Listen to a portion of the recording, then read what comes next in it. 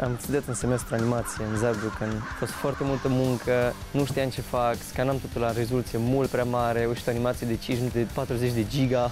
Nu înțelegeau germanii ăștia și pe bune de ce face nebunul ăsta acolo singur în atelier toată ziua. Și desenam și scanam, deci desenam, scanam și le-am stric, și stricat un scanner frumos.